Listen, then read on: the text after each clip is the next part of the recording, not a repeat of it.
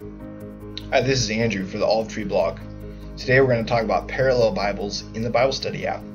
This is easy to do by opening up the split window of the Bible Study app and selecting a Bible of your choice. You can either do that from the resource guide or you can select library and then browse by category, look in your Bible section, and then select a Bible. Here I'll select the Reina Valera and now you see I have an English Bible in the left window and a Spanish Bible in the right window.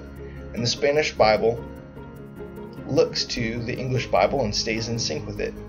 This is an easy way to create your own parallel Bible in the Bible Study app.